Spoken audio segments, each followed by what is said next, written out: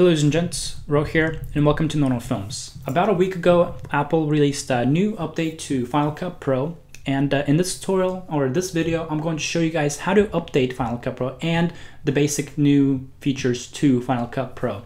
Now, let's go ahead and open up your App Store. To update, you're just gonna go straight to your App Store, and uh, within here, you can also find it on the apple.com if you don't have the App Store, but I'm gonna open up the App Store, and uh, Within top charts, you'll be able to find Final Cut Pro, and from here you'll have the update option as well. But uh, the new update is 10.2.1, and here are what it includes. Just these three new features, but they're critical.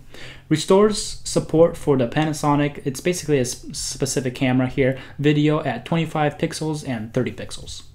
Now we also got improves accuracy when dragging to select a range and the timeline and that's basically with the range selection tool I believe. And then also we got the fixes an issue that may cause Final Cut Pro to quit on launch which I've personally had before. Now that's the basics. I'll have those in the description for you guys as well. Now to update you can also go to the updates tab here and then you'll be able to find the Final Cut Pro update and run that update as well just by simply hitting update but that's the basics of the new Final Cut Pro update. Um, be sure to leave any comments or questions. If you're having issues updating, go ahead and let me know.